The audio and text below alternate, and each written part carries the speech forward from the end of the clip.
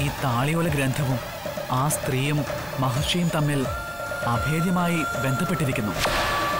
ഇനി അവൾ ആരെന്ന് തെളിയിക്കുന്ന ദൗത്യം വളരെ എളുപ്പമാണ് സേനാധിപൻ.